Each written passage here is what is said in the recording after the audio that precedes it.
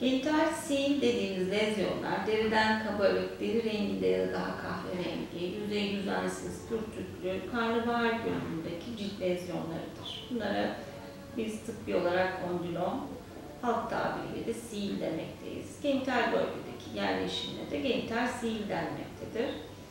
HPV virüsüyle olan bir cilt enfeksiyonudur. HPV virüsü human papilloma virüs tanımının kısaca baş harfleriyle ifade ediyoruz. 120'nin üzerinde tipi vardır. Bunlardan yaklaşık 40 tanesi ise genital bölgedeki cilt ve mukoza lezyonlarına sebep olabilir ki içlerinde en riskli grup 16 ve 18 rahim ağzı kanserleriyle ilgili e, lezyonların %70'inde tespit edilmiş alt tiptir.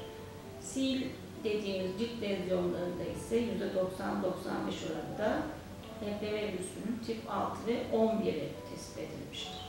Yani günümüzde 120'nin üzerinde alt tip olan bu HPV virüsünün büyük bir kısmı e, genital bölgede yerleşmez. Vücudun diğer bölümlerinde de e, elimizde, yüzümüzde de sil çıkabilir. Bunlar da diğer HPV tipleriyle olmaktadır.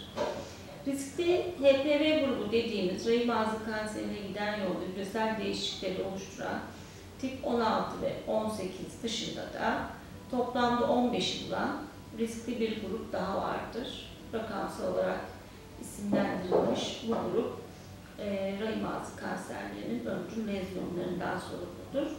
Sihirlerin dahil olduğu düşük risk grubu dediğimiz yani tip 6 ve 11'in bulunduğu düşük riskli grup ise sihir dediğimiz cilt lezyonlarını yapar ancak bunların kanserle ya da kansere giden yolu değişikliklerle bir ilgisi yoktur.